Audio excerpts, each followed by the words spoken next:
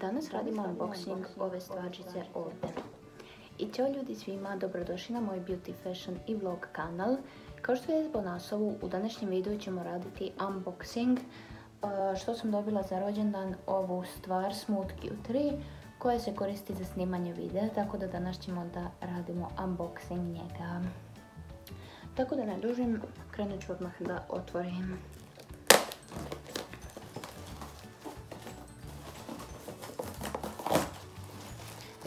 Sklonila sam ovaj celofan. I sada ćemo da otvorimo se kako se otvara zapravo. Treba mi mislim neki nož ili nešto. Zato što... Aha, dobro. Znači moram da ga otvorim odavde. Ovaj deo moram da iskidam. I onda ću ga otvoriti.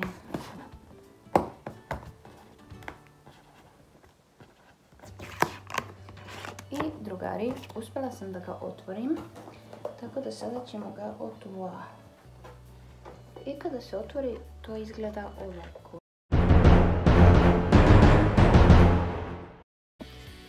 I kao što sam rekla, znači kada se kutija otvori, u njoj se izgleda sve ovako.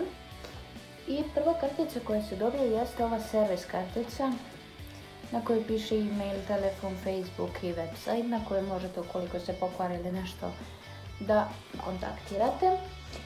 Druga stvar koja se dobije jeste ovo kao objašnjenje na kojem vam sve piše kako i šta radi. Znači tu ima par sličica, ima mislim sedmi sličica, da. I svaka ova sličica vam pokazuje kako ova stvarčica radi.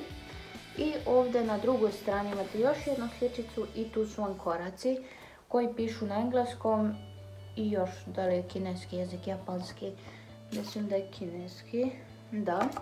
I na drugoj strani piše i kineski jezik. Znači, tako ovo ću da proučim i da vidim zapravo kako radim. I ovdje inače ima aplikacija koja se e, sa kamerom se skenira ovo i dovede vas tačno na tu aplikaciju ima i za Samsung i za iPhone, znači ima App Store i ima Google Store, ta, ta tu stvarčica, tako da izgleda tako.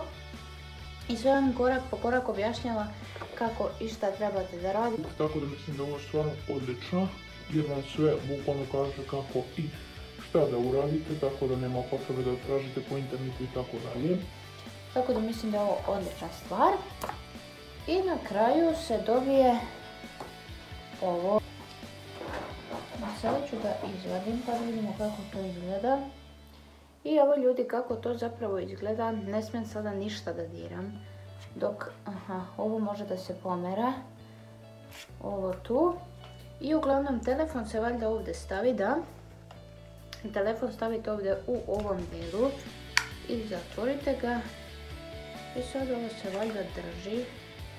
Ovo ne može da stoji koliko ja shvatam, da.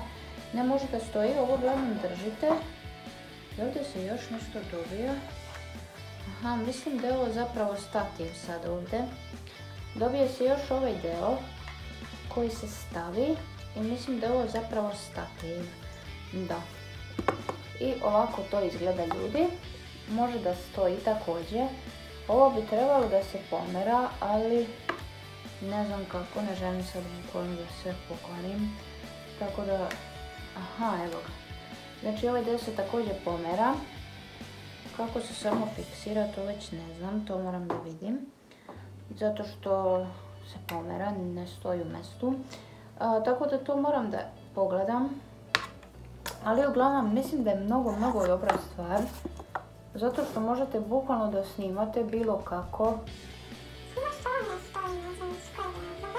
Ali uglavnom mislim da je ovo stvarno odlična stvar. I ovdje ima neke, neka dugmića, neki B, ima neko duplo V i duplo T, e, duplo V i T tu. I ovdje na ovoj sredini ima jedno dugme i ima mood e, na koji piše PF, L, F i POV. I neko crveno dugme koje pretpostavljam da je ne znam za šta.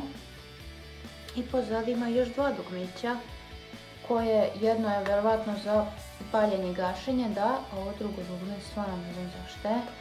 Ali mislim da je ovo stvarno, stvarno top stvar za snimanje i za sve.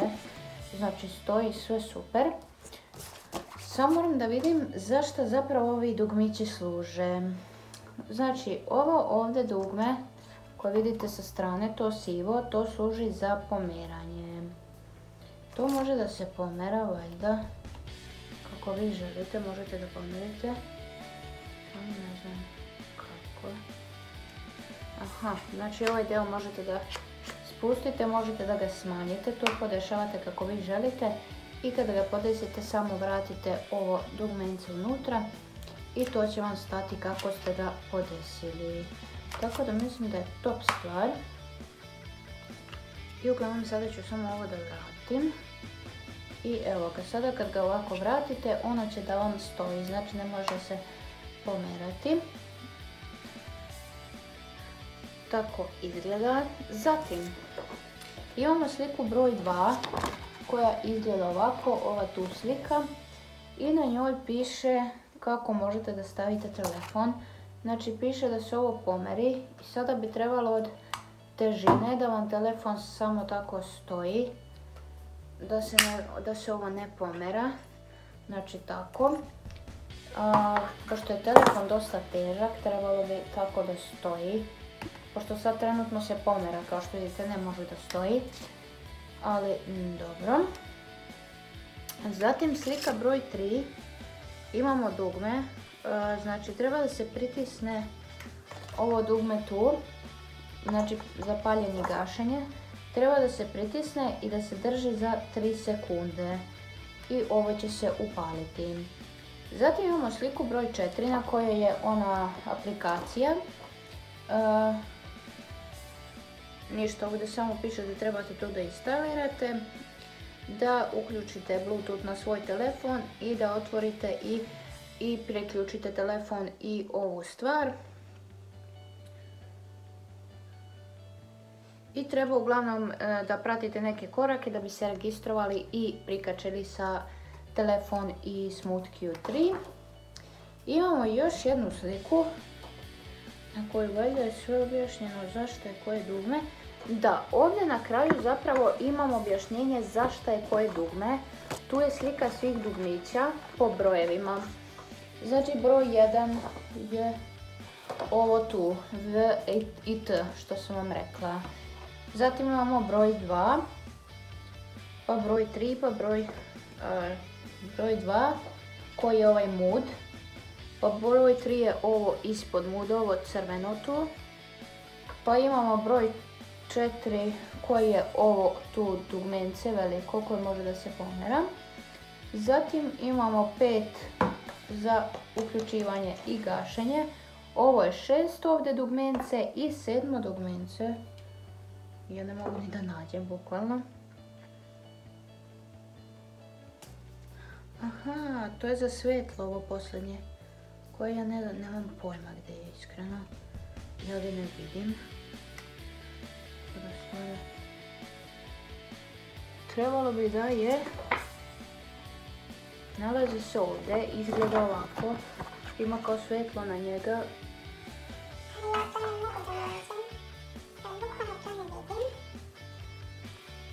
Pokušao ne mogu da nađem.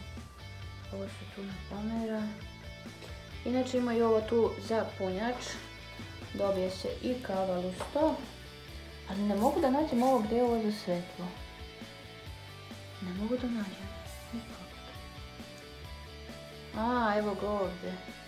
Na ovom uglu tu, tačno gdje je svetlo. Svetlo je tu, a ovo je ovdje. Znači, V i T je za zoomiranje. Znači, V, T. To je za zoomiranje. Onda imamo uh, mood button. Single press to switch stabilizer. Aha. Znači, treba da kliknete jednom da pritisnete stabilator. Onda treba da kliknete dva puta da idete na običan mood i treba da pritisnete i držite za e, kao da uđete i izađete iz standby mooda. Zatim treće, koje je ovaj minus ovdje ispod, crveni, služi za znači jedno pritiskanje je da se e, slika ili da se uključi video. Onda dva puta kad pritisnete jeste da switchujete foto video mood. Jeste da promijenite da li iz fotografija video mood. Onda tri puta da pritisnete da se upali prednja kamera i press and hold to take multiple photos. I samo pritiskate i držite da, da uhvatite više slika. Zatim ovaj dio ovdje piše kao da je joystick. Zašto je ne znam. Znači moram da skinem aplikaciju da vidim. Uh, onda imamo power button, kao što sam vam rekla, ovo je ovdje za zapaljenje i gašenje. Znači jednom kad pritisnete da provjerite bateriju na koliko je. Onda kada pritisnete i držite 3 minuta da se upali ili ugasi. I kad pritisnete 8 puta da resetujete bluetooth. Onda imamo ovo ovdje koji je ispod paljenja i gašenja. Zove se trigger button. Jednom se pritisne da se kao enables, da se uključe kao smart neka praćenja, nešto ne znam. Zatim dva puta da se pritisne za reposition. Tri puta da se switchuje između landscape moda i portrait moda i da se pritisne i drži da se uđe u phone go mood neki, ne znam. Zatim za svetlo koje se nalazi ovdje tu, ovdje gore kao što sam vam rekla. Znači kada je uključen da se pritisne jednom i može da se adjustuje kao i može da se adjustuje koliko će vam jako biti svetlo sa touchem. Ima tri levela. E, zatim pritisni i drži za 1,5 sekundi da se uključi, to jest ugasi svjetlo.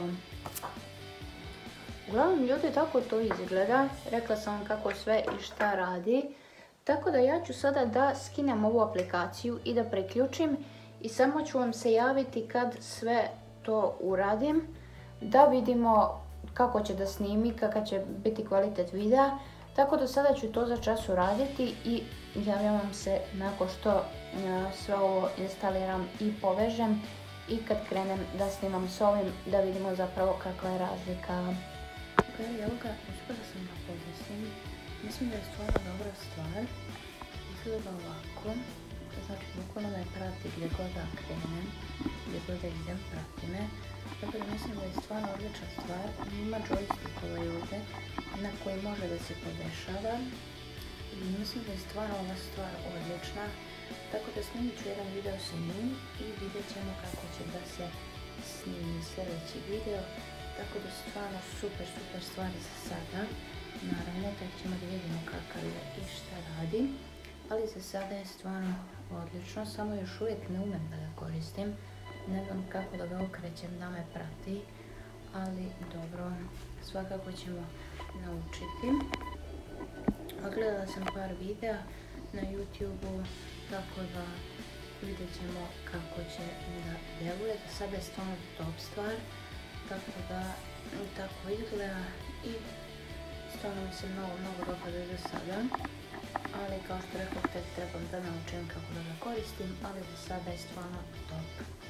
Tako da ljudi moji, to bi bilo to što se tiče ovog videa. Hvala vam puno na gledanju. pišite mi dole u komentarima koliko znate kako se ovo koristi.